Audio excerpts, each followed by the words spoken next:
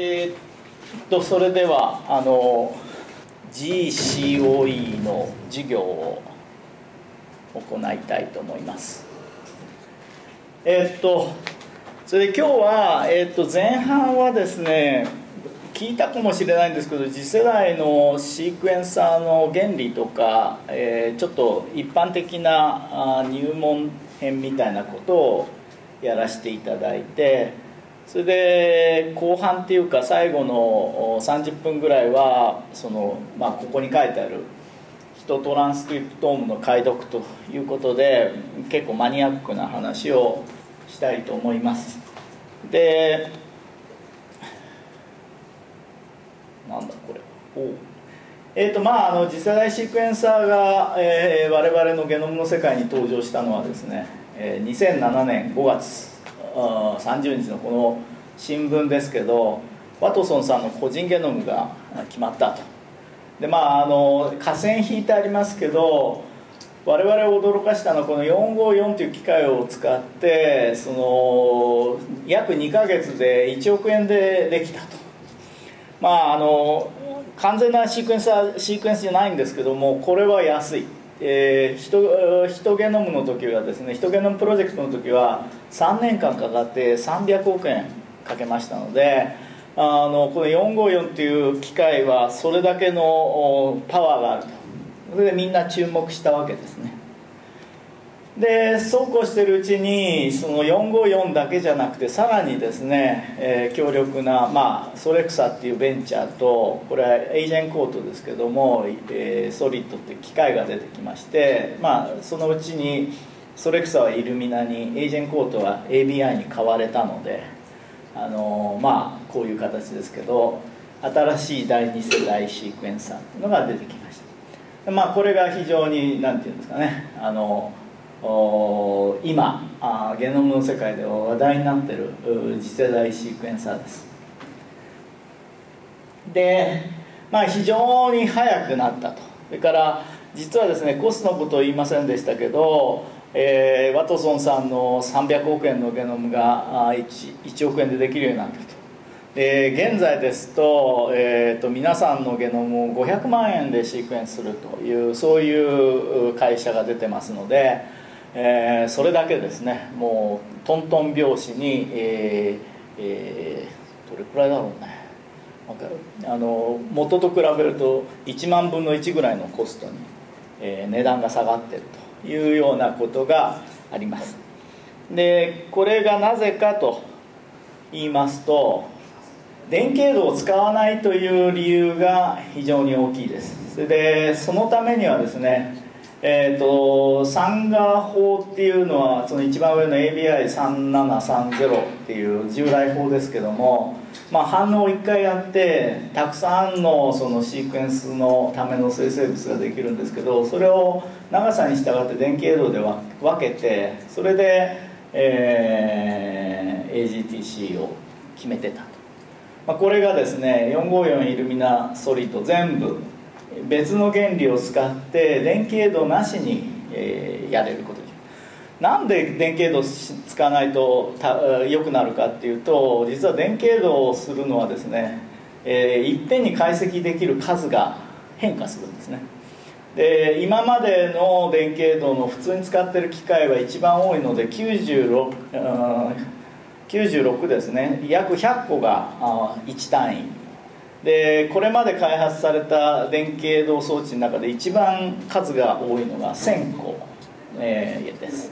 えー、っとその454はパイロシークエンスイルミナーは合成シークエンスソリッドはライゲーションシークエンスって別々の方法でこれらはあのこれから説明するように電気映像使わないんでですね。あの電気映像使うと電気映像装置の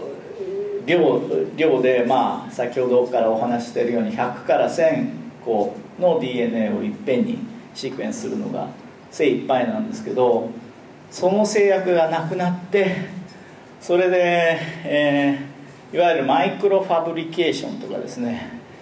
それから一分子の傾向ディテクションとかそういう技術の発達を組み合わせることでこのキャピラリー電気映像を使わない方式の方はですねいっぺんに454の場合は現在100万個。それからイルミナ GA とソリッドはですね1億から2億というものをパラレルにシークエンスできるようになってます。でまああのこれ、えー、市販の次世代シークエンサーの比較表みたいなのが出てますけどもまああのクラスえっ、ー、と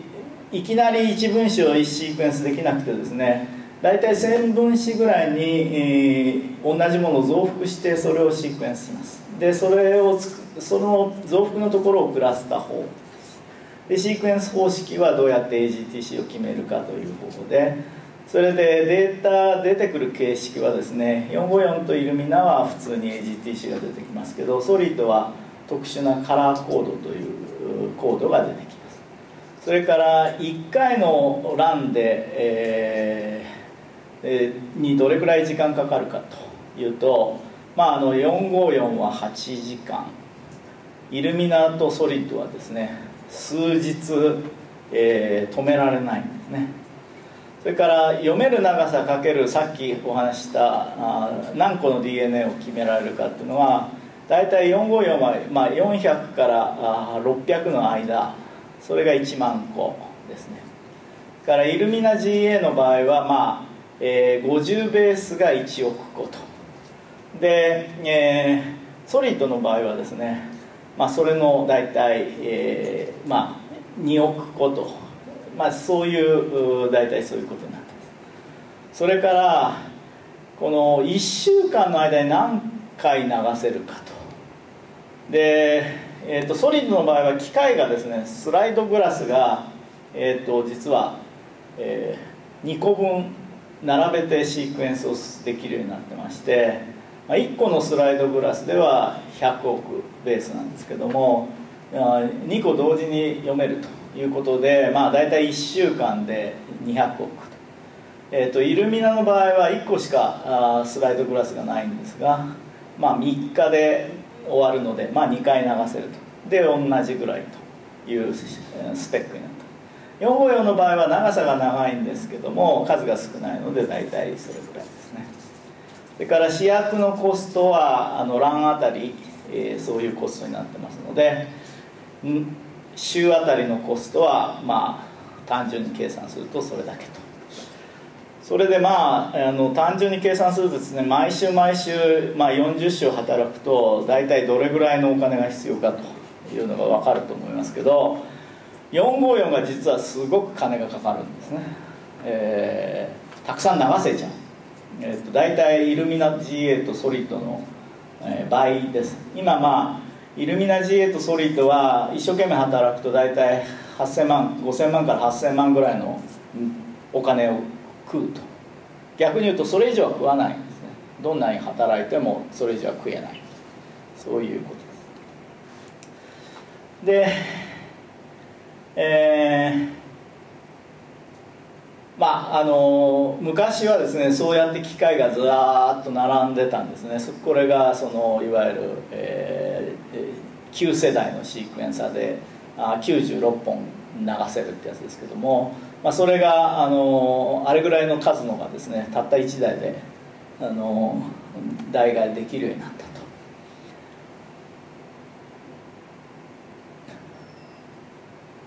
でまああのこれは同じ話ですけども、えーえー、と今すごくですねそのスペックが変わってます。それで、まあ、今お話ししたのは今年の1月ぐらいのスペックの話ですけど来年の1月ぐらいになるとですね多分倍から4倍ぐらいの性能に向上アップされると思います。まあ、とはいえですね原理を押さえておくと、まあ、各方式のいい点悪い点が分かると思いますので、まあ、これからちょっと時間をとって原理をあの、まあ、せっかくの授業ですからお教えあのお話ししたいと思います。で pyrosequence っていうのはですねこの DNA を合成していく途中にまあ、 dNTP をやってこうそれがうまく DNA に取り込まれるとですねその pyrophosphate が出ると。この pyrophosphate をシークエンスするえー、測定してその AGTC を決めるということです。でこれはどういうことかと言いますとまああのプライマー鋳型をしてそのプライマーの直前直後が A だったとします。で順番にですねあの、えー、塩基を純粋な塩基を入れていくんですね。これはラベルとかついてないやつを入れていきます。それで A の場合はハイブリしません。C の場合もハイブリしません。それから G の場合も取り込まれないんで何にも起こんないんですね。ところがここに T が来るとですねこれはあのちゃんと、えー、取り込まれます。というのでそこに見え分かるようにピロフォスフェートができると。でこいつをあの光で見るわけですね。だから A を入れて光が出るか調べる G を入れて光が出るか調べる C を入れて光が出るかどうか調べる T を入れて光が出るかどうか調べるこれのサイクルをずっと繰り返していくと。そうやってシークエンスをします。でまあ光を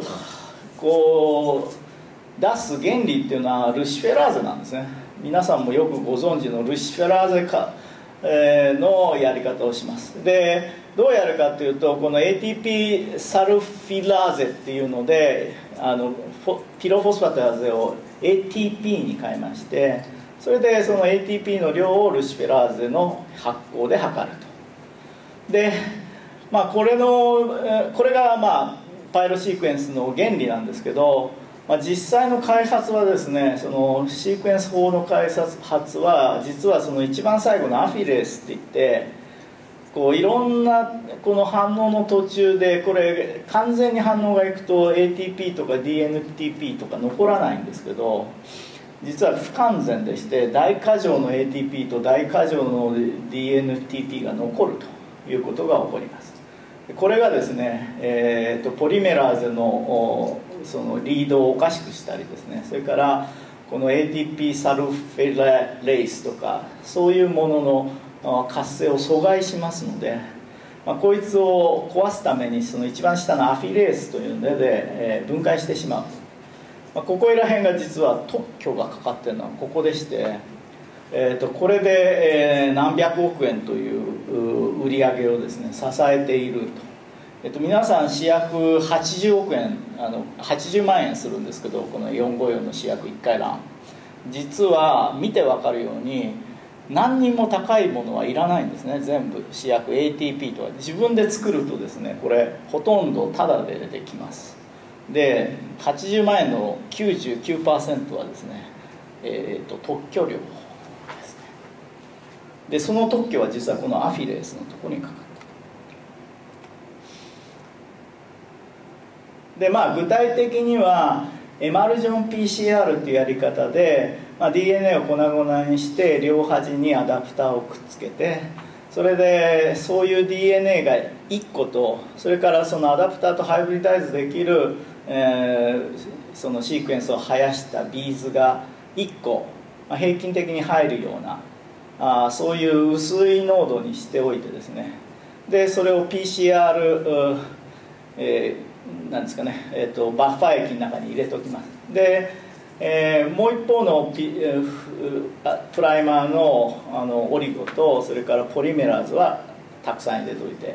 それで、えー、なんていうんですかね、えーと、ミネラルオイルのを調整してこう振るとですね、えー、水がこうミネラルオイルの中の粒になる。とそれ一個一個はちょうど小さな試験管みたいになりましてでうまくやると薄くやるとその DNA が1個その中にあってそれでビーズが1個あると。そういうような状態を作れるのでまああのそこで、えー、ちょうど1個のビーズに同じ DNA がこう生えてる。いう状況が作れます。でこういうものはちょうどビーズに1000個ぐらいの同じ DNA がくっついてるものになりますので、まあ、これがシークエンスをする時の単位になるんですね。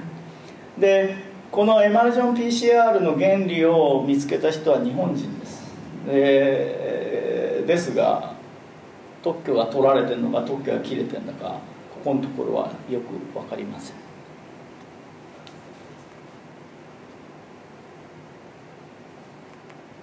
でこうやって作ったビーズをですね今度はその発酵の反応を先ほどお見せした反応をさせるためのチェンバーに入れます。これ試験管みたいなんですね。で具体的にはすりガラスの中に上にこう穴が開いてるだけのものですけどもまあそれの中に1個ずつこう入れていくと。どうやって入れるかっていうとただジャーッと入れてこうなんかナイフエッペンドルフでのナイフかなんかでこうやるだけなんですけどまあ、そうしておいてからあの出てこないようにこうちっちゃなビーズで埋める。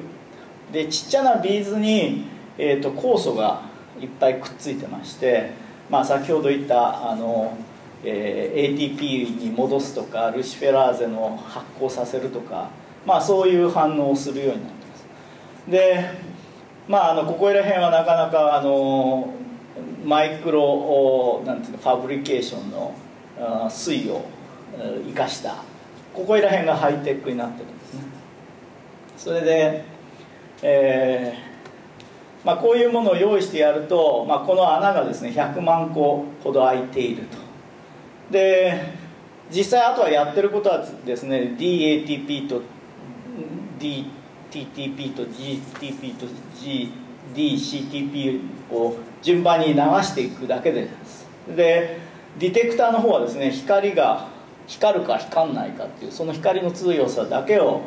測りますので、えーとまあ、皆さんが使ってるカメラのですねあのフォ、えー、CCD あれで済んでしまうわけですね。だからディテクションのところはものすごく安い。それからこの装置もすごく安い、えー、ですので一旦こうセットしてしまうとそこに一番下に機械が書いてありますけどあれっていうのは多分ですね秋葉原で部品買ってきて組むともうその何ていうの20万とか30万でできるものをですねこれ8000万とかいう値段で売ってるわけです、えいい商売ですね。でまあ A を入れて先ほどの話ですけどどこが光るかってこう見ていくわけですね。こう大体この黄色いところは光ったところと。そうするとその赤いところは、まあ、上から見ていただくとこういうふうに見えるでまあこれの問題はですね、えー、同じ A ってつながってると全部反応がいっちゃう。でポイントはピロフォスファタゼが A が2つだと2倍できる、えー、3倍だと3倍できる。4, 4つながると4倍できると。そこでピロフォスフェイトの定量がものすごく精密だと何個でもいくんですけどまあ分かるように1個と2個を比べ1と2倍を比べるのは簡単なんですけど10と11の差を見るっていうのはものすごく難しい。でほとんど無理なんですね。ですのでこの機械のっていうかこの方式の欠点はですねえーと、T があ例えばそのホモポリマーの数が5ベースを超えると,、えーと、定量性がなくなる大体5以上は同じ、えー、強さになるこれが難点です。えーと、シークエンス精度は非常にいいんですけどもまああのえー、そのエラーホモシポリマーのシークエンスがうまくいかないと。いうそういう欠点があります。で次はそのイルミナですけどイルミナはエマルジョン PCR の代わりにですねこういうその、えー、スライドグラス上に、えー、そのアダプタープライマー、えー、DNA を切って両端にプライマーをくっつけるっていうところはあのその454と同じなんですけどあのビーズの代わりにその、えー、スライドグラス上にそのこうくっつけたアダプタープライマーとハイブリダイズできるオリゴをダーッと生やしておくと。それもですねその両側別々のオリゴをつけるんですけどその別々のプライマーをべちゃっとランダムに生やすんですね。それでうんと薄くえーと、DNA をあのスライドグラス上に申し訳ないこうバーッとこう、えー、かけてそうするとまあ一分子がこう本当に、えスライドグラス上に点々と離れて、えー、それでオリゴに対して、えーと、ハイブリダイズします。でハイブリダイズ一方だけするんじゃなくてですね両方がハイブリダイズするので、まあ、あの一番、えーと、右側のスライドにあるようにこう丸くなるブリッジができるんですね。でまあ、こういう格好にしておいてから PCR をかけるとまあ前に出しましたけどブリッジしたままで日本祭になる。でそれをヒートディネイチャーするとまああのちょっとこれ実は端折ってあるんですけど片側がこうなひっくり返ってそれで反対側が、えーと、そういう別の形になると。でまたあの、ねえーと DNA ってのはフラフラ運動してますからフラフラ運動してまた同じようなブリッジを近くのオリゴ糖を作ると。でそれがでまた PCR をするとまた2つになると。それっていうこの何ていうんですかねブリッジ PCR って言ってるんですけどこういうこうブリッジをした PCR を何回かやるとですねこうその一番最初に一分子あった周りに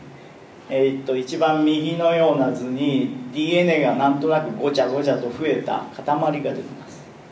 でまあこれが同じ DNA 由来の塊というのでこれを DNA クラスターと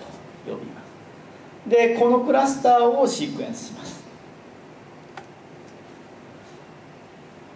でまあシークエンスする原理はですねこのヌクレオチドのところに工夫がありましてえーと、3-OH があるという思いますけども 3-OH が塞がってるんですね。それから A と G と T と C のヌクレオチドのその、えーと、ベースのところに違った色の傾向がつきます。でそういうヌクレオチドを A と G と T と C 混ぜてですねそれでいっぺんに反応してしまうとあの1ベースだけ、えーえー、ヌークレオチドが入ると。で、えー、G, のとこ G のところは G が入りますし A のところは A が入ってっていうのでそれぞれのクラスターが色が別々の色がつくわけですね。シークエンスによって。4色に分かれます。でこれはスライドグラス上に1000分子ぐらいの塊で4色があるのでですねこれを蛍光顕微鏡で見るとその真ん中の図のようにですねこう色のついた点が見えます。で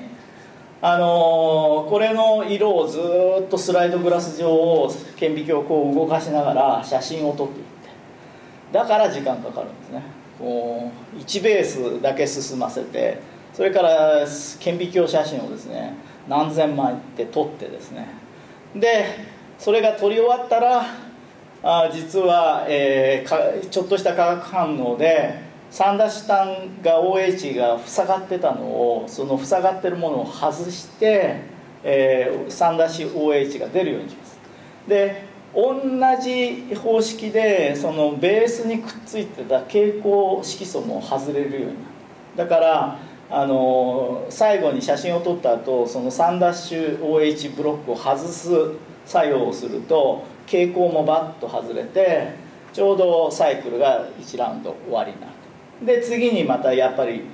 AGTC を一緒に入れて1ベースだけ読んでというのをやります。だから反応にまあ1時間ぐらい。で写真を撮るのに2時間ぐらいでで1ベース読むのに3時間ぐらいかけてそれでえっちらおっちら読んでいくから3日とか5日とかかかるわけですね。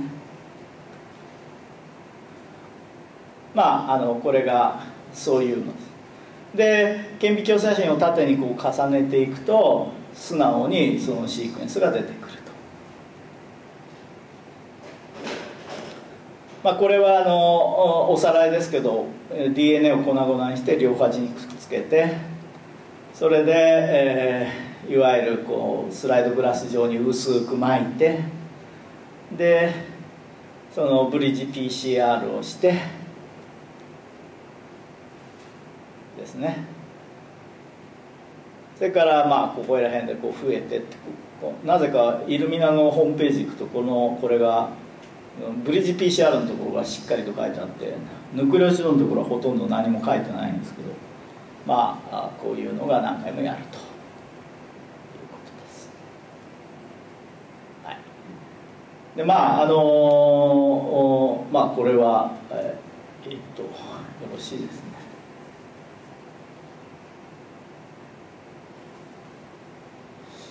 まあ、あの次はですねあのソリッドになります。ソリッドっていうのはこれはライゲーションシークエンスっていう新しい方式でこれあの非常に面白いやり方なんで凝りすぎで、えー、あまりにも分かりにくいんで売れないというかわいそうな機械なんですけどあのまずはですねえー、っと454で話したエマルジョン PCR でそのこういうものを生やします。その時に454の場合はあそこに1マイクロメータービーズって書いてあるののそのあれ直径なんですけどえー、っと454の場合は100マイクロメータービーズぐらいの大きいのを使うんですが、えー、っとここソリッドはものすごくちっちゃいこの1マイクロメーターを使います。ですので穴を開けてこう入れるっていうことをするんじゃなくてこのエマルジョン PCR した後ですねいきなりスライドグラス状にベターっとこう貼り付けるとそういうやり方をします。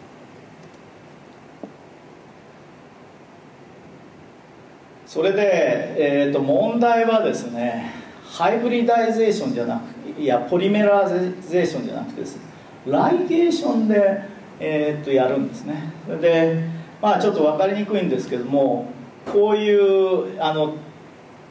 TT、GT、CT、AT ってこういうふうにあの、えー、2ベースが違うそういうそのプローブを作っておきましてで2ベースが違うということは組み合わせが 4×4 あるので、えー、16種類こう用意しなきゃいけないんですね。ところが蛍光の色っていうのは16種類も分けられないのでそこで複雑回帰なことをしてその、えー、と4種類の傾向をそのいろんな組み合わせにこうそこの表になってますけど、えー、とこうアサインしてあります。でその TT とか GT とか CT とか AT とかいう以外のところはですねこうハイブリダイゼーション安定化すライゲーションが行われるまでのハイブリダイゼーションを安定化するための何にでもくっつくシークエンスということででそれに、えー、まああの特許がかかってるわけですけど、まあ、こういうものをですねその一番最初に書いてありますけどもこう混こう混合物をハイブリダイズさせる具体的にどういくかっていうとですねえー、まあだプライマーを作ってハイブリダイズさせると。で端っこがちゃんと AT だとあのライゲーションが可能なぐらいの時間、えー、ゆっくり、えー、そこにとどまっているのでそれでライゲーションができる。でライゲーション反応しておいてからウォッシュしてそれであとは傾向を測定するそうするとビーズが光ると。こういう原理ですね。でその後ですね、えー、あんまり長いとやりにくいので、えー、切ってしまいます。でえー、切って何ベースかあ3ベース先のところをもう一回シークエンスする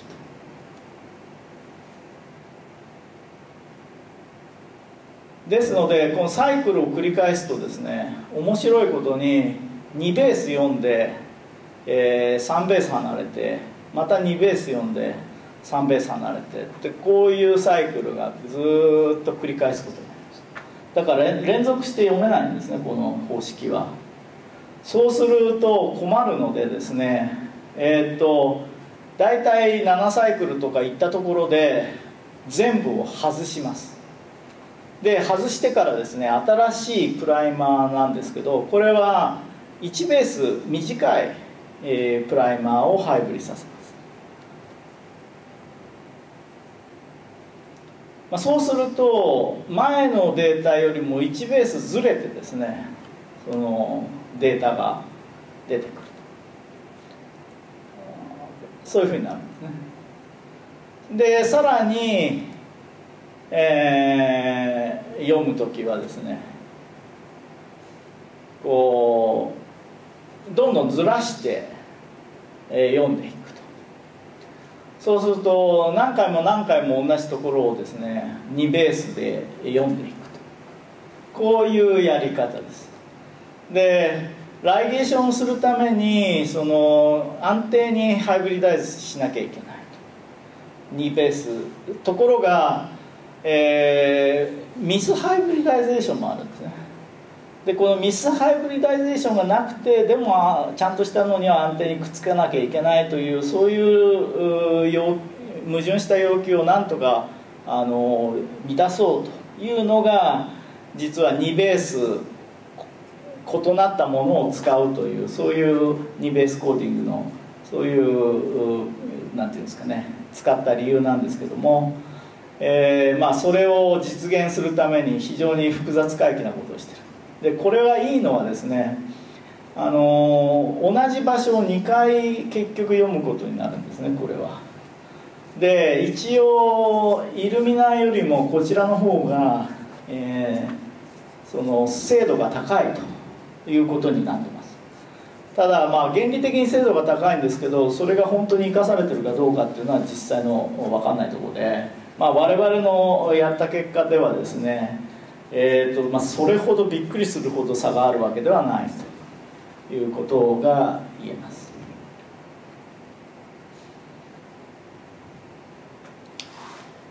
まああの A と C の間はあの色 C と G の間はあの色っていうふうにこうまあ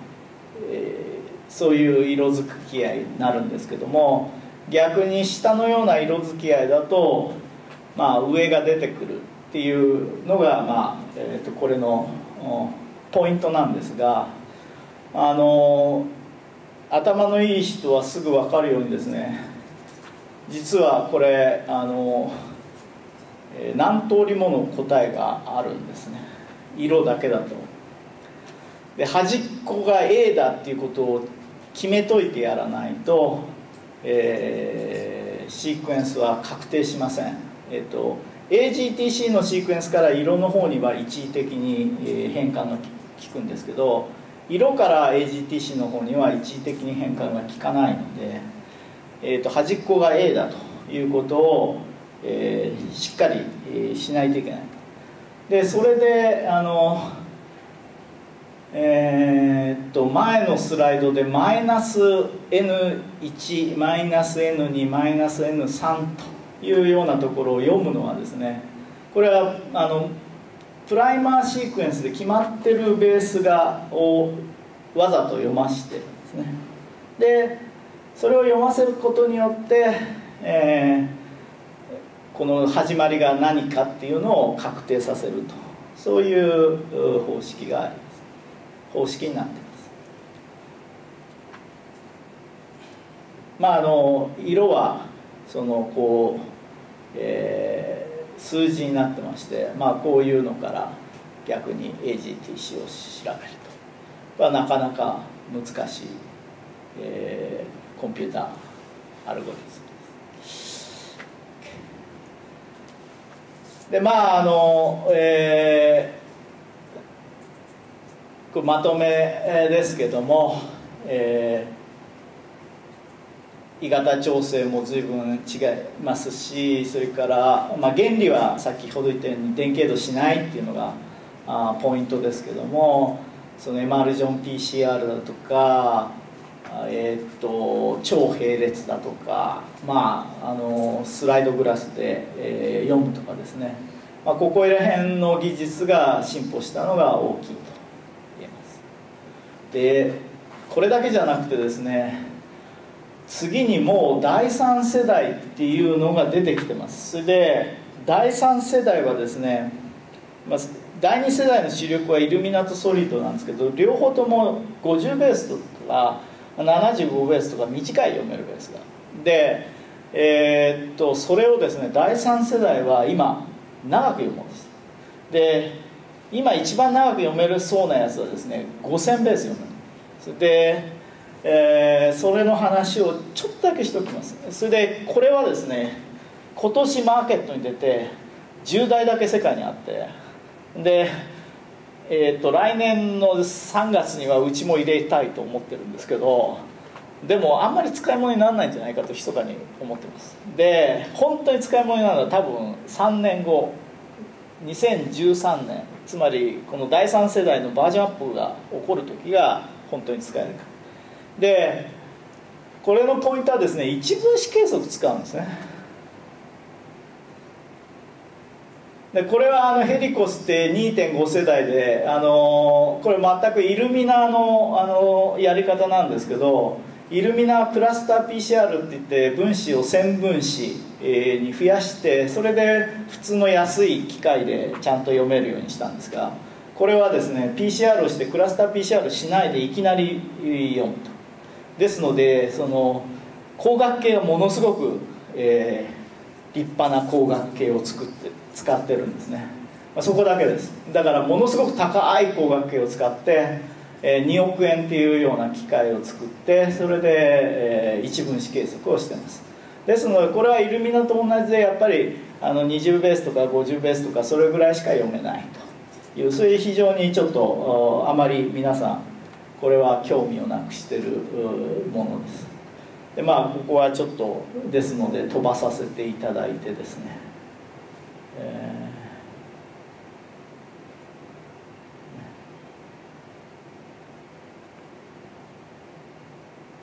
ー。これがその今話題にした5000ベース読めると言われてる機械の原理ですね。で一分子はフェトモルリッターの領域を観察しないとできないでまあどういうことかというと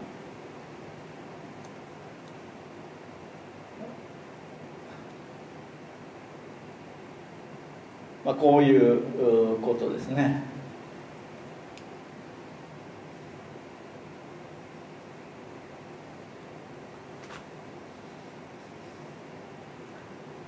大体その1フェムトリッターに170マイクロモーラーの DNTP を入れてそれでまあ観察するというそういうことをまあ考えた人がいるわけです。で、えー、逆にこの分子で割ってやるとですねこれぐらいの小さな領域に絞り込むと、まあ、一分子で、えー、読めるだろうでゼプトリッターというそういうのをですね実現しようと。でそれがこれのゼロモードウェーブガイドっていうこういう非常に小さな穴を掘るんですね。でここに、えー、ゼプトリッターっていうようなあそういうこうなんていうんですかね、えー、試験管を作ると。でここでどんなふうにその、えー、シークエンスがされてるかっていうのをこう見れるようにしてるわけです。でまあ実際はですね、えー、あの一番穴これは穴の中の底に、えー、DNA ポリメラーゼを固定化します。で、えー、その DNA をですねこうプライマーとくっつけたものをその中にこうはめ込んでおくと。でそういう状態にしておいてから蛍光のついた DNTP をこう放り込んでやると。で工夫してあるのはですねえー、前はそのベースのとこに蛍光がついてたんですけど今度はですねリン酸のところに、えー、蛍光がついてるんですね。で先ほどからお話してるように DNA に DNTP が取り込まれる時はピロリン酸が外れてポッと、えー、なくなってしまいますのでえー、っとこれはおもしこの蛍光プローブは面白いことに DNA に取り込まれた途端に蛍光がなくなるというプロ。ーブですで具体的にはどんなふうになるかというと穴の底からですね、えー、と蛍光をずっと見てるんですね。その光を当てて弱い光を当てて。そうするとあの NTP みたいに小さいものはものすごく速く動いてるんでその下の図の A とか T とか書いてあるあの下のベースのラインがちらちら動いてると思いますけどああいうふうに非常に速い動きなんでカメラで捉えられなくてこう低いベースラインのチラチラチラっていうそういう動きになります。で DNA のヌクレオチドがたまたま DNA とハイブリダイズしてそれポリメラーゼのおかげでこう固定化されるとちょうどステップ2のところで分かるように急にあのベースの動きが止まるのでそれで強い光がパッと出てで測定される。でこれはあの、えー、この長さはですね0.01秒とかあの温度に依存するんですけども要するに DNTP がトラトラップされてでポリメラーゼでこう切れてあのピロフォスフェートが切れるまでのその時間ですね。であまりにも早いと測定できないので、えーと、わざと遅くするようになってます。で、えー、だからこの A の時間というのは今0.1秒ぐらいの間隔ですね。でまた同じところが出て次は別のヌクレオチドが入ってきて、まあ、ちょうど反対差相補差の対応するようなものが出てくる。でこれはだからですね、まあ、こう漫画で書いてありますけどポリメラーゼがある温度でリアルタイムにヌクレオチドをどうやって取り込んでるかっていうのを測定してるわけですね。だからポリメラーゼがその常温で合成する速度でシークエンスが出てきます。だからものすごく速い。先ほど言ったように5000ベースぐらいのデータを出すのに1時間ぐらいしかかかる、ね、だからこれはまた革命的なあの機械です。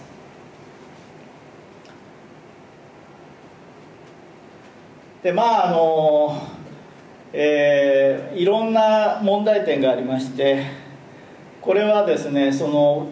プライマーとその、うん、DNA をどうやってあのハイブリダさせてそれで穴の底にあるポリメラあのポリメラーゼにくっつけるかっていうのでなかなか難しいらしいんですね。で彼らが考えたのはこういう変な形をしたあのリングアダプターっていうのをつけてそれでぐるぐる回しにして読むんだと。でもしこの、うん、読みたいシークエンスの長さが300ベースぐらいですと、え、先ほど言ったように何千ベースって読めますので10回ぐらい同じところを読むと。で何がいいかっていうと1回はシークエンスの精度悪くてもですね2回読むとシークエンスの精度が良くなると。で3回4回読むと非常にシークエンス精度が高くなるというので、まあ、このぐるぐる回しでですねえー、と500ベースぐらいのものを非常に高い精度で読もうというのがこの機械の目論見です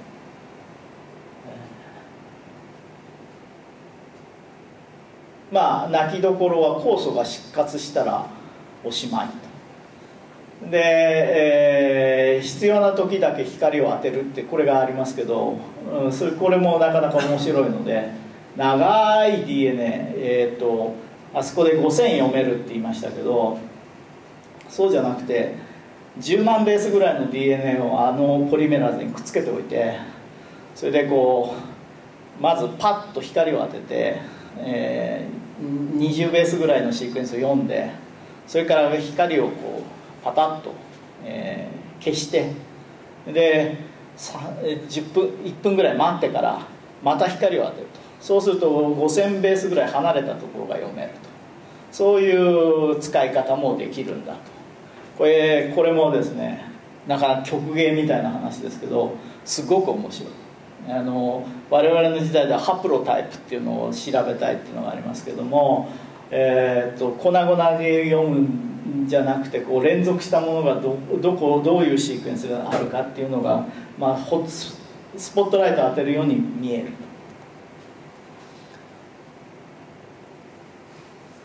で一方ですねあの今はその穴の底にポリメラーゼをつけようっていうそういうことでしたけど穴の底に DNA をつけようっていう人もいるんですね。でなぜかっていうと穴の底にポリメラーゼつけるのはいいんですけどポリメラーゼってすぐ酵素ですから失活しちゃう。そうするともう使えないと。で DNA をくっつけるんだと DNA はですね失活とかないんでいいだろうと。で問題はポリあのポリメラーゼ DNA のポリメラーゼはですねその、えー、っとなかなかその動いちゃってて、えー、すぐにその蛍光の視野から外れてしまうんですね。だからあの DNA をくっつけておくともうそのくっつけた DNA のそばしかシークエンスできないと。でなんとかそれを伸ばせないかっていうんで考えたのはポリメラーゼに光をあの集めるそのアンテナみたいなものをそれつけておく、ね、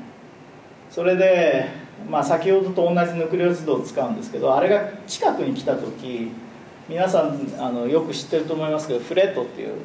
あのフローレッセント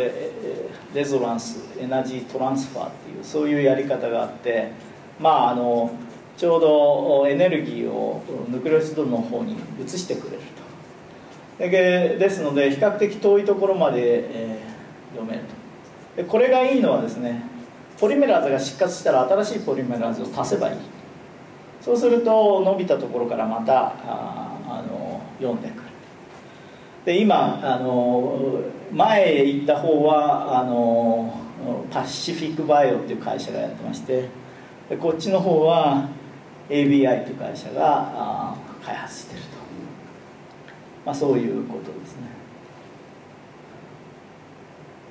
あとはですねもう夢のようなのがいっぱいありまして細いナノポアをこう通る時に電圧が変わるのを使ってそこに書いてあるように、えー、DNA をエクソヌクレアスで1ヌクレアずつ切ってですねそのナノポアを通すと。そういうそういうやり方でそのシークエンスをしようと、えー、そういう DNA 文化に基づく新しいシークエンスですね。それからイオントレラントっていうのはトレントっていうのはこれはあの454と全く同じ原理なんですけど454の場合はルシフェラーズで蛍光にして測ってましたがイオントレラントレントは、え、っと半導体技術で、えー、小さな pH メーターをたくさん作ってやる。で直接ですねあのピロフォスフェートの酸性度を測ると、えー、そういうやり方で、あのー、シークエンスをしようと。このイオントレントはですねそのえーと、半導体技術で作っちゃいますので何にもいらないんですね、えーと、NTP をただ入れてればいいというこれ非常に安く、えー、できるというのでひょっとするとこの機械は皆様方の研究室に、えーと、と1台ずつ将来入るというような時代が来るかもしれない。えー、っとまあこういうことでですね、えー、今までガンガンとそのシークエンスの、うん、精度が伸びてきたんですけどまああの将来もにもわたってですね伸びることがほぼ見えてると、まあ、こういう中で、えー、どうするかというのが、えー、問題になります。でまああのこれをもうちょっと今現状を考えてですねやるとですね。まああの第2世代で何やるかっていう話をもうちょっとさせてもらうとですね。あのえー、っとまあ第3世代では5000ベースって夢の話をしましたけど、まあ、残念ながらここ最低、えー、多分45年はですねまあ、これの時代なんでで、えー、長さが短い。50ベースから数ぐらいですね。それからエラー率が高いと。安くてたくさんできるんだけど、まあ、こういう問題があります。というので用途がまあ限られてくるんですね。で、えー、あもうシークエンスの分かってるものを、えー、何回もシークエンスする。そういう用途とそれからまあ、タグカウントって言ってるんですけどこれは短い配列の出現頻度を数えるそういう用途と2種類あります。でまああのそれぞれについてちょっとずつお話ししたいと思います。でまあこれは非常に抽象的に言ってますけどえー、っとそのリーシークエンスはですねそのいわゆる個人ゲノムのシークエンスですね。でえー、実際はですねこういう感じでデータが出るんですよ。これは36ベースぐらいのでこの小文字のところはどうも精度が心配だとシークエンサーが言ってるやつですね。だから見にくいかもしれませんけど赤いのがちらほら見えると思いますけどこれは上の標準配列とあのシークエンスの違うというやつです。でですのでこうやってそのお手本がないとですね本当に、まあ、どこをシークエンスしてるのか分かんないということが起こります。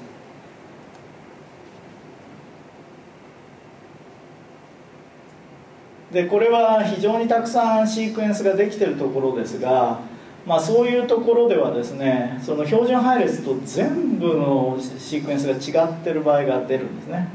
これがあのスニップです。で、えー、皆さん普通の人はお父さんとお母さんから染色体1個ずつ持ってるのでそのこれ半分の場合がありますそうすると半分の場合はまああのこれで見るところちょうど半分半分になるということですところがまああのこれぐらいカバー率が高いところですと、まあ、半分半分かなっていうのがありますけど例えば3本しかないところでこう AAG だったりするとですねその最後の G は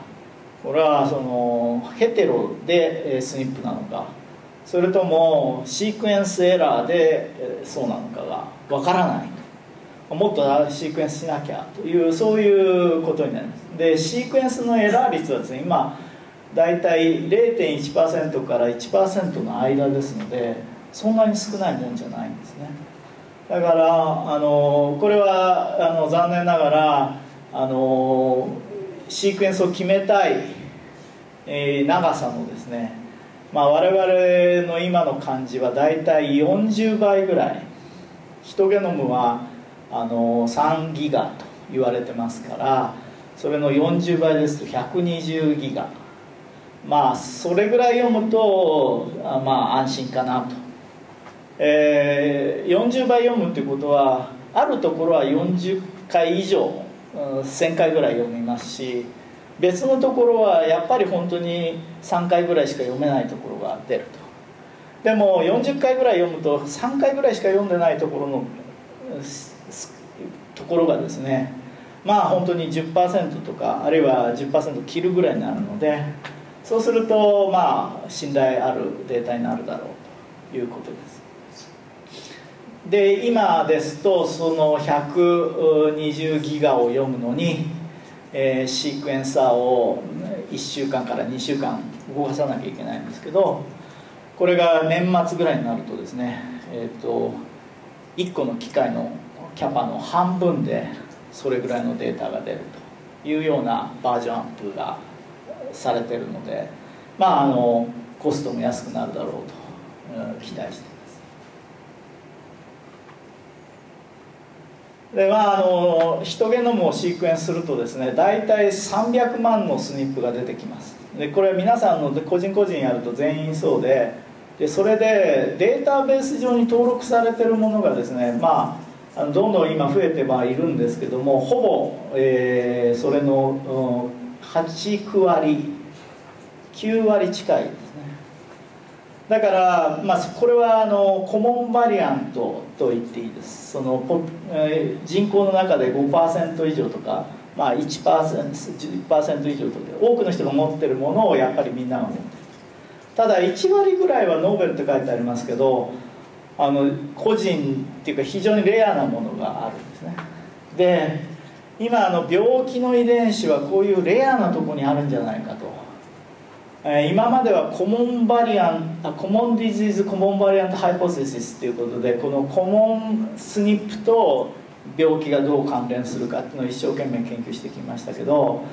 えー、と今そのゲノムの方ではですねそのこの新しいレアバリアントとコモンディジーズがどういう関係にあるのか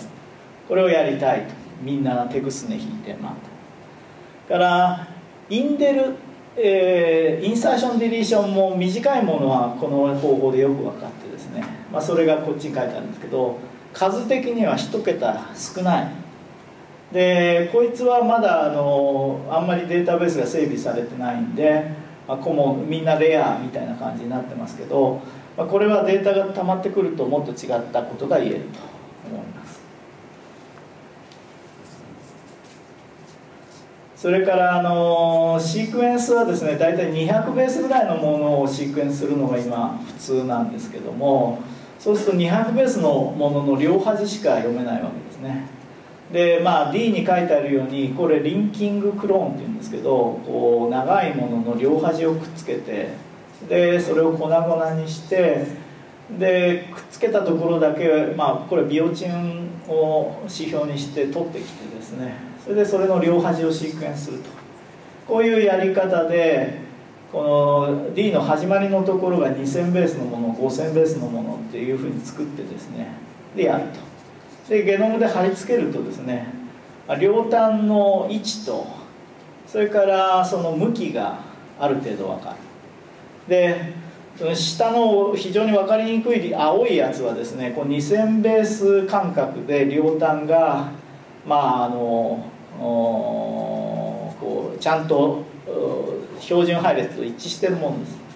赤いのはですね両端が2000ベース以上に離れてて向きもおかしい。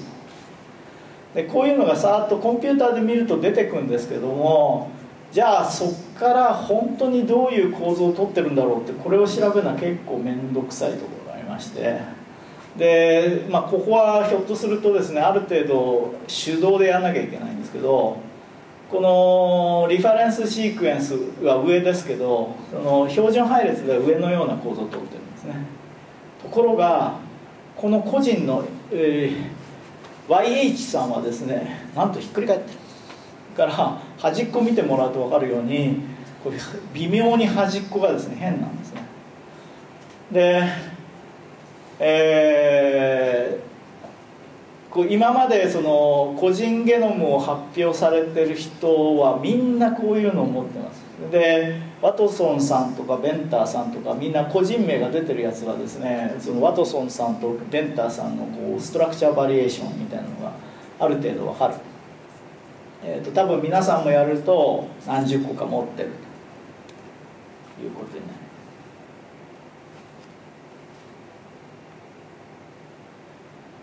まあこれまでに決まった個人ゲノムまあこれは、えー、3月ぐらいのあれですけど、まあ、結構な数がありましてそれで人種もですねアジア人、えー、韓国人が2人とかですね。それからあの結構アジア人のデータも出ています。でついこの間は女優の方のデータが出てまして、えーと本人の名前付きで今データベースで検索できると思います。で千人ゲノムっていうプロジェクトが、えー、進んでましてああこれですね。えー、でこれちょっと古いんですけどイルミナに頼むと450万。つい先週これを半額にするというアナウンスがありましてでコンプリートジェノミックスは200万です。まあ自動車買うぐらいの値段で今シークエンスできるという値段ですね。でまああのターゲットとしてはさっき言ったレアバリアントですね。それがその病気との関係でと。それからもちろんがんでどんな変な胃があるか。あとはあのシークエンサーの使い方ですけどメチル化がどうなってるかとかですね。ヒストンのアセチル化がどうなってるかとかそういうのがゲノムワイドで分かるようになりましたので、まあ、そういう解析。メタゲノムっていうのはあの今よくやられてるのは体のどこにどんな微生物が住んでるかっていうようなことですね。だからこう唾液口の中の唾液を取ってきてそこから DNA を取るとですね皆さんの DNA が8割9割なんですけどあの口の中のバクテリアの DNA もたくさん取れてきてですね、まあ、それをシークエンスするとどんなのがいるかっていうのが分かると、まあ、そういうことですね。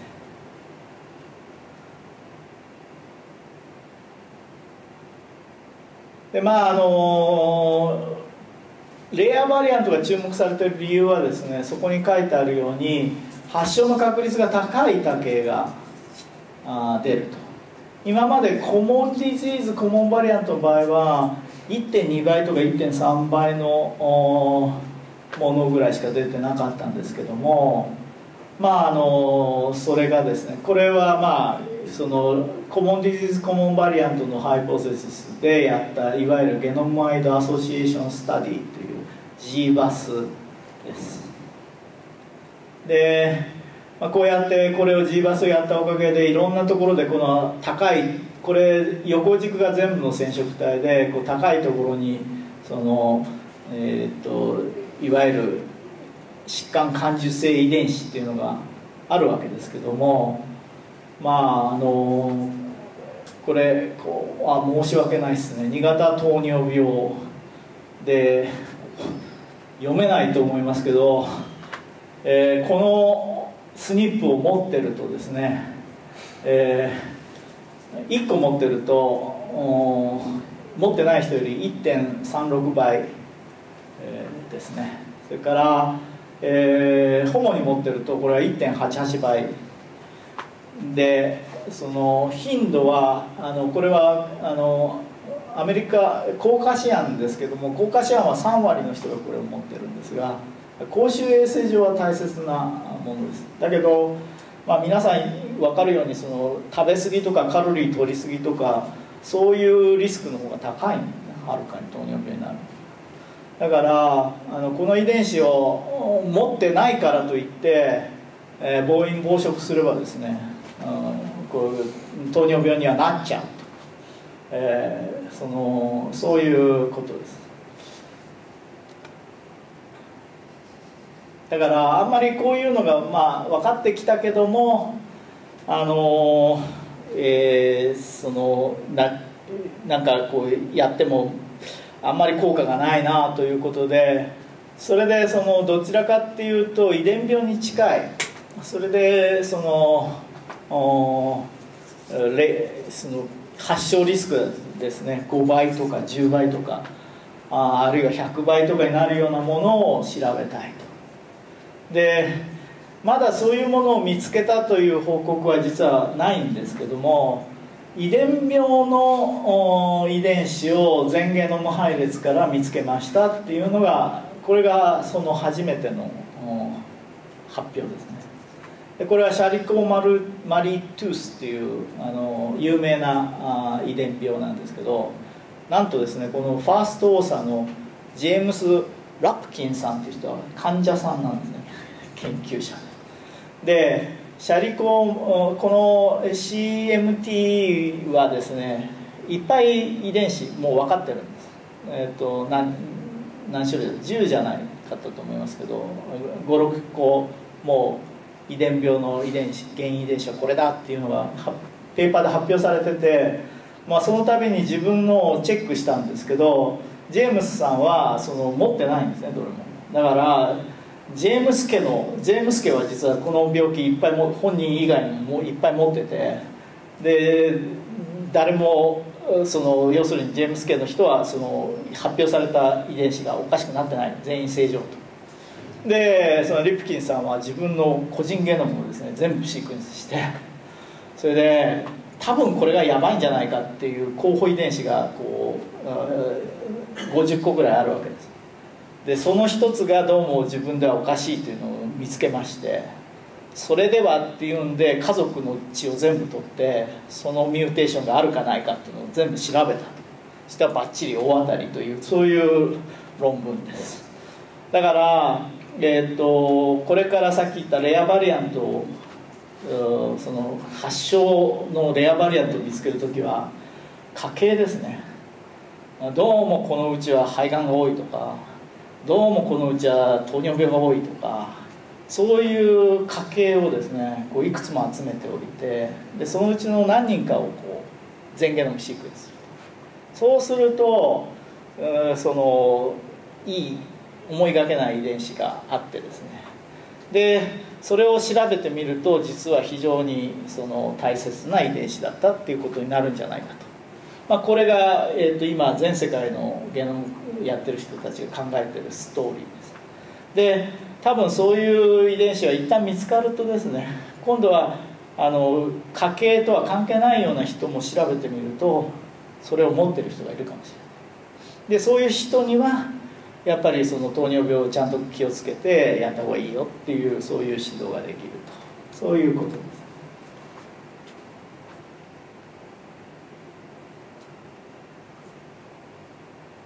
まあ今言ったことですかね。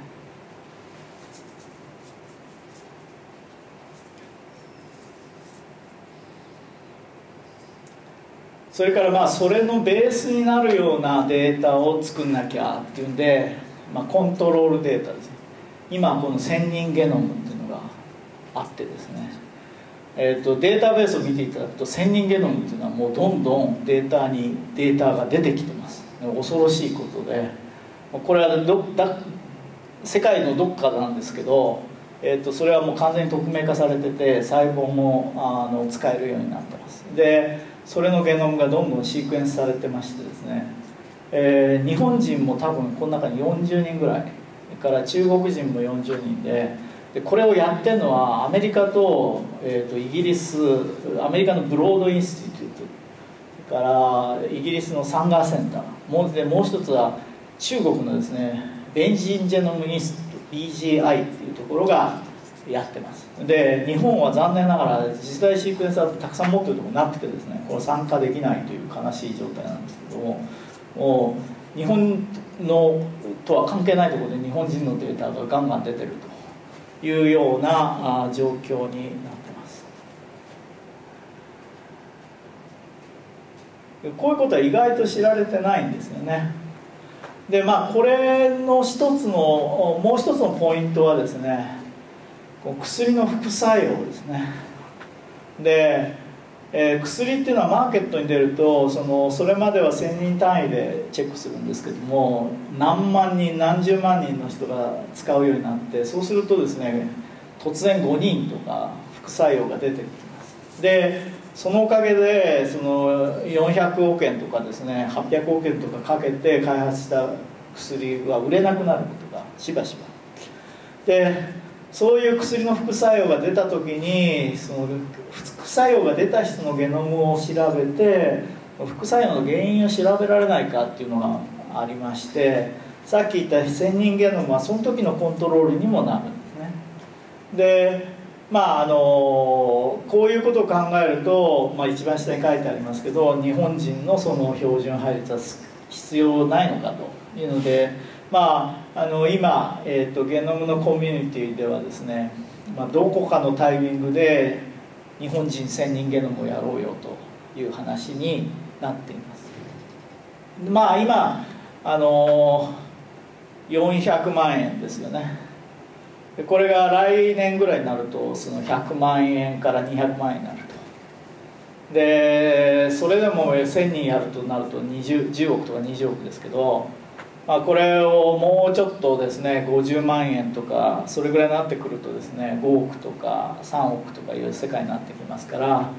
あ、そうすると1000人ゲノムはそれほどあれなのでまああのそんなに遠くない将来にやろうと。もう一つやっぱりそのファルマコジェノミクスっていうそのこれがですねそのどうなるかとでこれはもう本当にあの医療の現場で必要になることなんで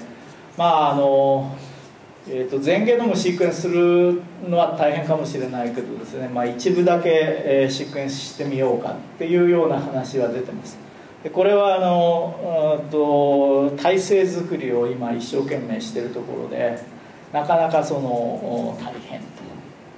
まあ、倫理問題が大変ですね。これはあの病院に来る患者さんに、まあ、例えば皆さんたちにえー、チェックさせてくださいっていうことを言わないといけないので、まあ、どれぐらい協力が得られるかという問題。あとはまあこれ人種差などがありましてこれもやっぱり日本人は日本人でやらないといけない。で結構ですね東北地方とその京都で違うとかですねありましてまあやっぱりちゃんと地域差も考えたあの研究をする必要が出てくる。ですね。まああのこれは同じ、えー、もう一つはやっぱりがんですけどもこの大体、えー、あの異常があの変換ミスですね。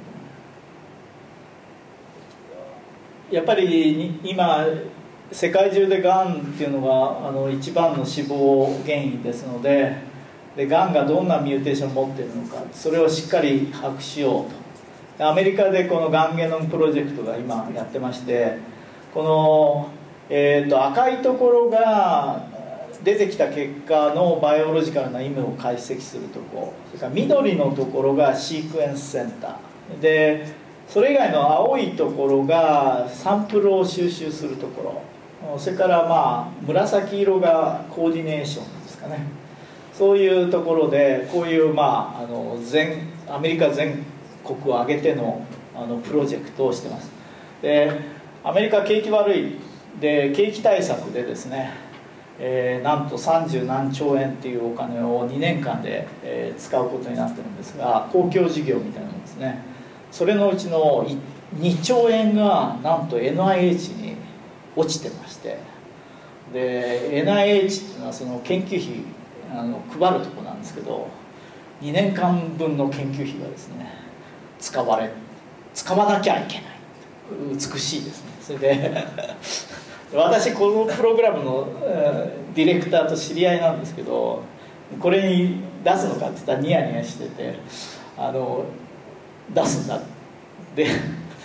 お金ありすぎてどうどう出したらいいか分かんないみたいなことを言ってましたね。でそれは日本に出せって言ったらいやこれはアメリカの景気対策だから日本には出せないとか言われてあのあれなんですけど今アメリカはですね研究費ジャブジャブです。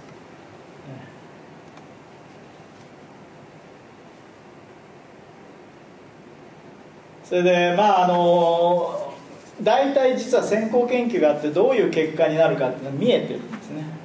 見えてるけどやっぱりそれをしっかりと把握すると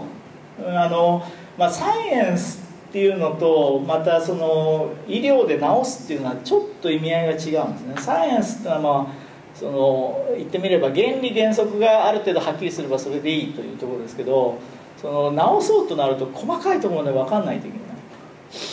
で実際にどんなミューテーションががんでどれくらいの頻度であるかっていうのをやるとですね結局こう同じように見えてる肺がんが遺伝子レベルでは全部違うんだっていう話になるんです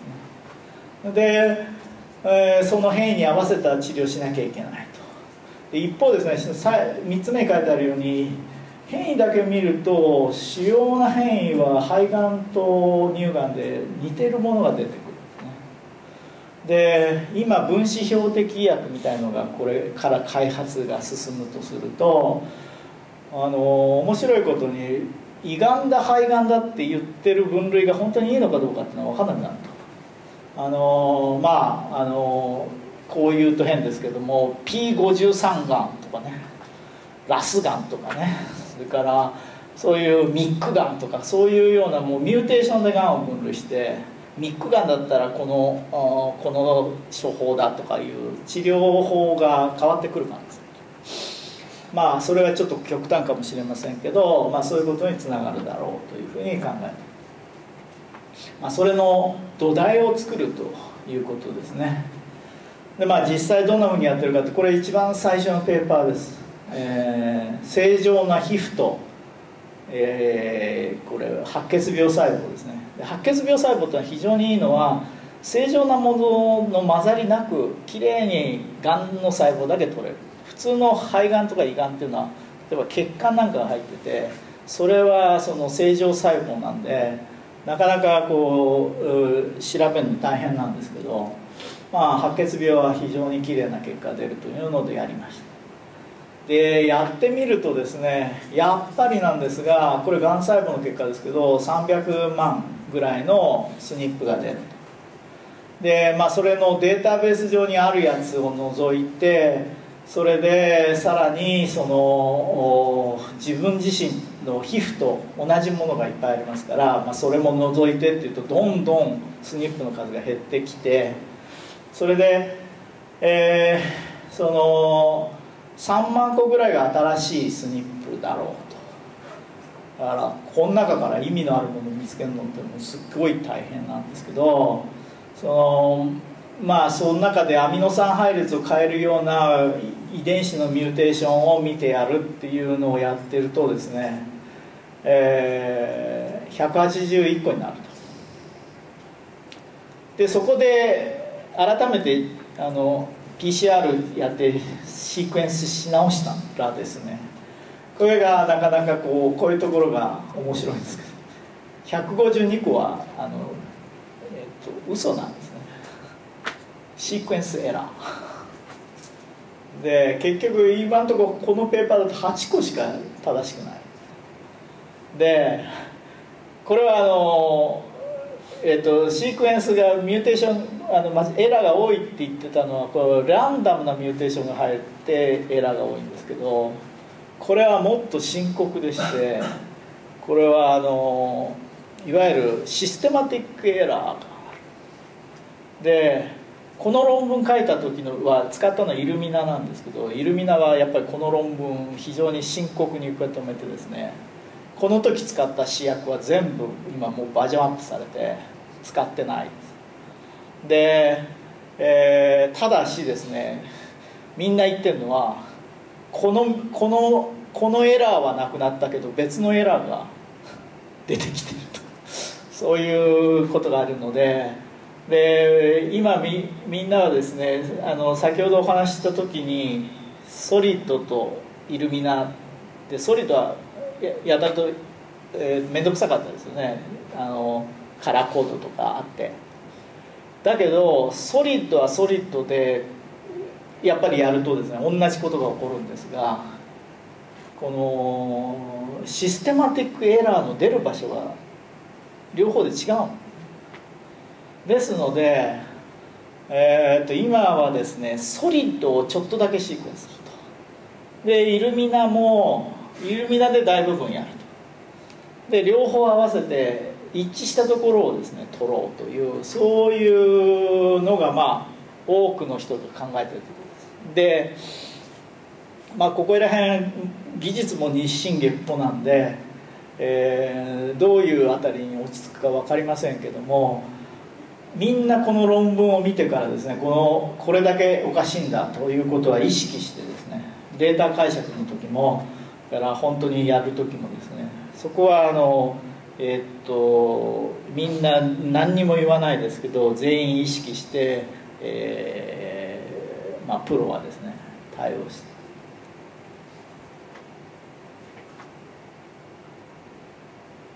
それからあのタグカウントっていう話をしました今まではあのリーシークエンスの話ですけどもタグカウントはですね、まあ、マイクロアレイのその代替えみたいなものですで、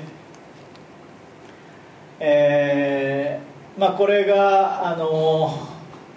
えー、チップを使うやり方で、まあ、チップチップとかですね、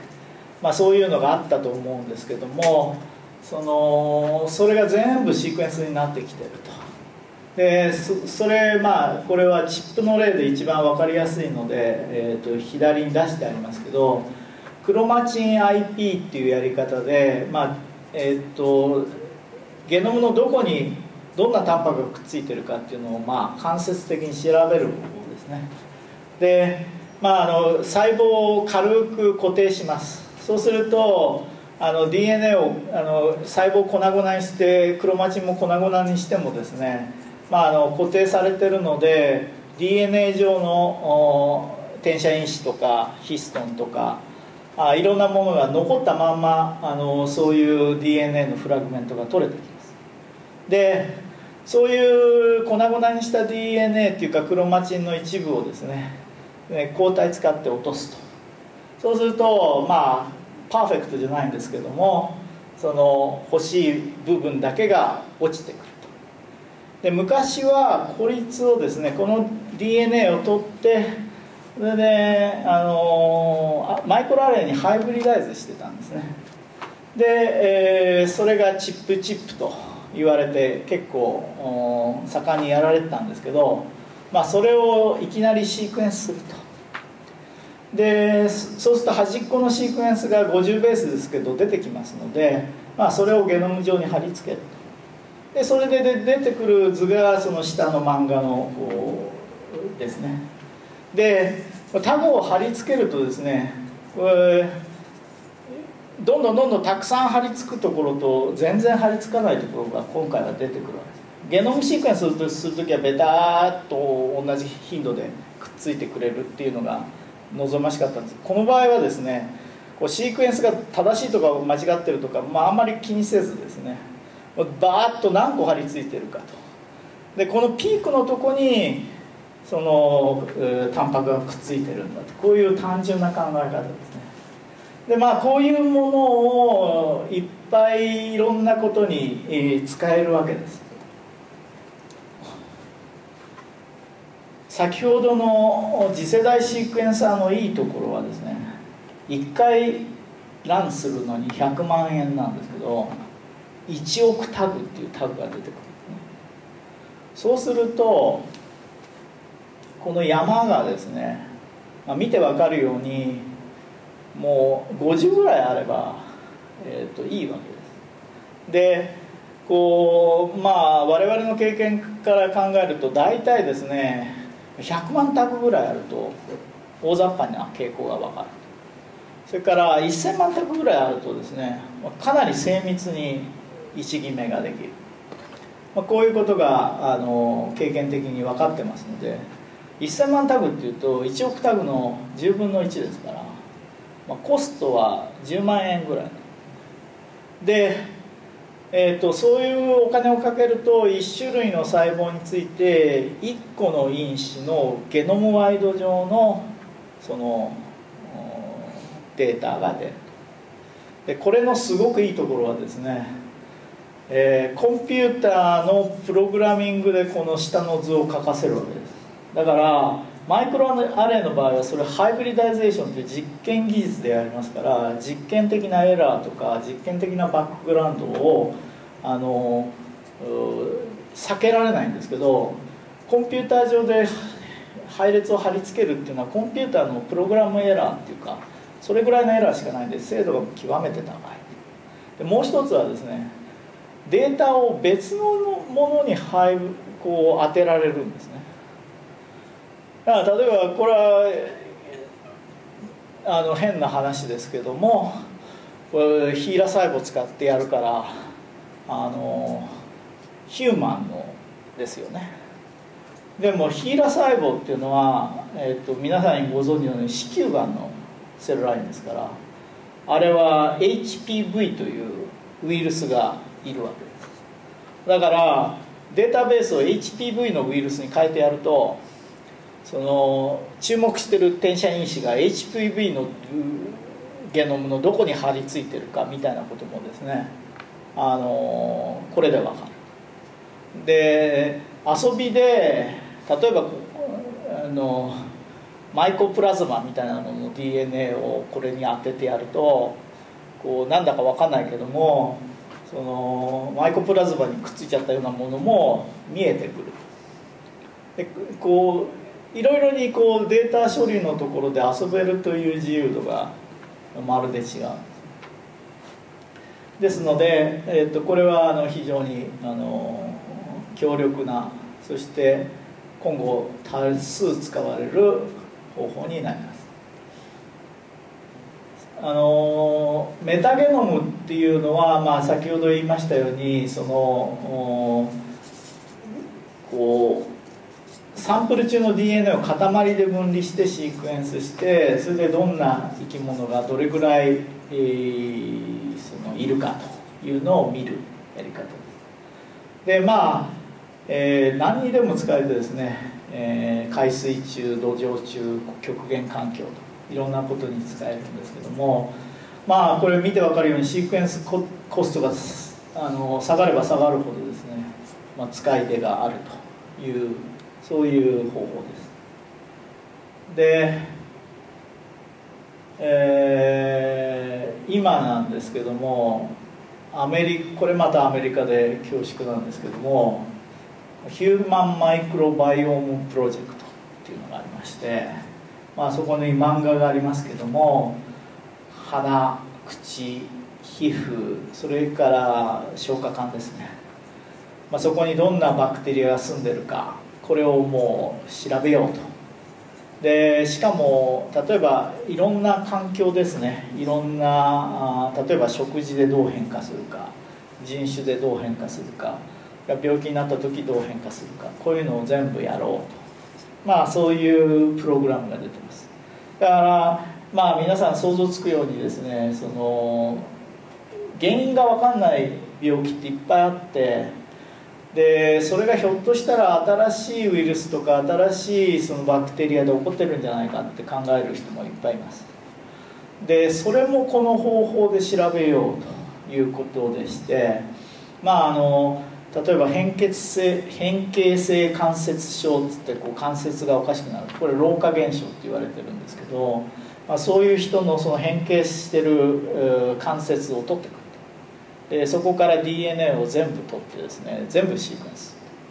で大部分はその人のゲノムなんですけども、えーと、その人ゲノムにくっつかないものもかなりたくさんでそれの大部分はシークエンスエラーでくっつかないんですけど、えー、でもですねそれくっつかないものの中にひょっとするとなんか新しいこうものがあるかもしれない。であのまあここら辺からはそのインフォマティクスのテクニックが非常に大切になるんですがその今まで分かってるババクテリアのゲノムとかウイルスのゲノムにですねそれを全部当ててやると。で多分当たんないんですよね新しいものだと。だけどそこをこう例えば部分的に当たったものを選択的に取ってくるとかですね。それからそのこう普通だったらあのこういうのはプラスと読まないけどももうちょっと緩いクライテリアでプラスと読むとどうなるかとかですね。いろいろこうスレッショードをこう変化させて調べる、えー、さらにですねその余ったやつを、えー、っとこう、えー、シークエンスアッセンブリーっていうんですけど今までそのお手本がないと何もできませんでしたっていう話をししましたけども、えーお手本がなくても無理やりそこからこうシークエンスを作ってしまうんですね。こう重なった部分をこう一生懸命足し足して、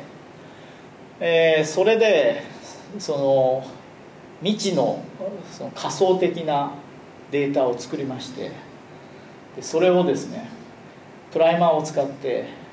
またこの PCR かなんかでサンプルから本当にそれが取れるかどうかチェックする。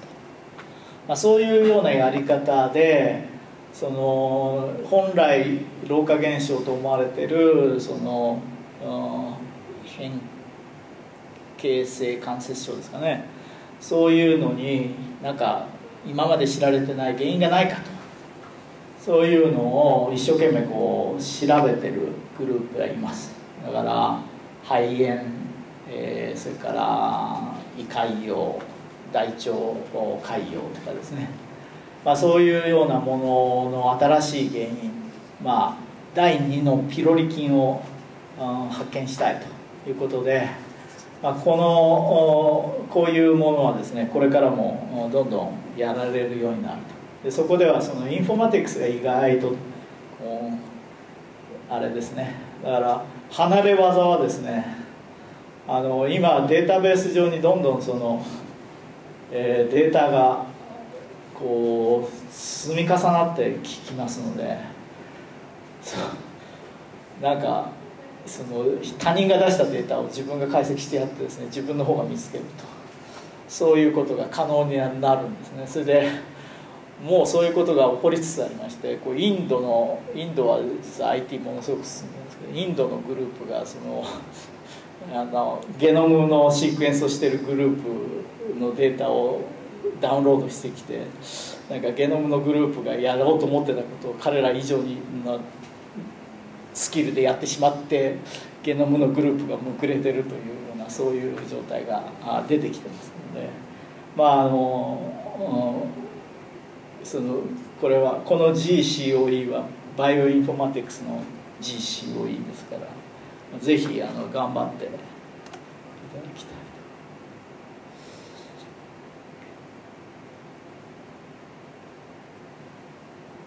まああのこれはいいでしょう。でまあ次世代シークエンサーっていうのはまあ発見ツール解析ツールであると同時に発見ツールでまあこの非常にゲノムという強固な基盤をですねこれからどんどん作り出していくだろうというふうに言えます。でまああの個人ゲノムの時代ではこういう形で、えー、いろんなものが今駆け足でやってきたように、えそんまあ、私が楽観的に言うほど早くはないと思いますけどもどんどん出てくると。でお楽しみゲノムっていうのは例えば婚活ゲノムみたいなもんですね。お互いゲノム見せ合ってこう相性いいね。このスニップがある時はいいんだよみたいなそういう話をですねこう酒場でやるというので、まあ、こういう感じでですね、まあ、将来は相性がいいか悪いかちょっと血液型じゃなく盛り上がってまあ、そういうところですかね。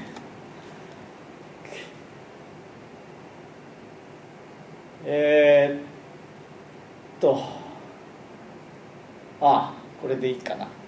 じゃあえっとまああのえー、結構柏はですね変な話なんですけど理化研もゲノムセンターありますがえー、意外とゲノムに強いんですね。だから、